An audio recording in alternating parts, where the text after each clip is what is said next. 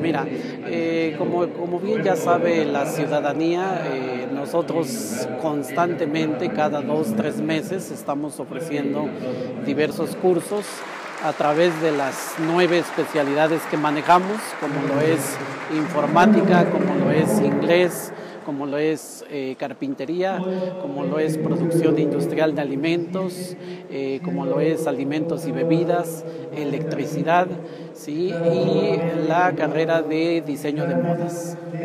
Mira, este, eh, la cuota es única, es pago único.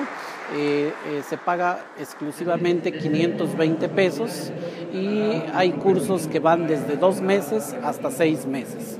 ¿Sí? Eh, los requisitos necesarios es todo en copias, es presentar copia del acta de nacimiento, copia del comprobante de domicilio, copia del comprobante de estudios, tres fotografías tamaño infantil, copia de la credencial del lector y copia de la curva.